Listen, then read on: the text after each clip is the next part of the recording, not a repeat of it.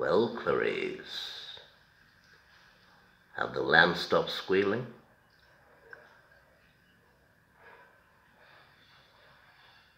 I wouldn't bother with the tricks. I won't be on long enough. I had no plans in calling you, Clarice. The world's more interested with you in it.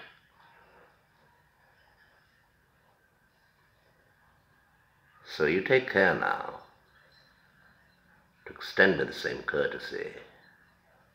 I do wish we could chat longer, Clarice. But I'm having an old friend for dinner.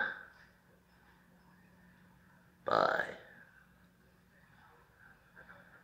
Dr. Lecter. Dr. Lecter. Dr. Lecter.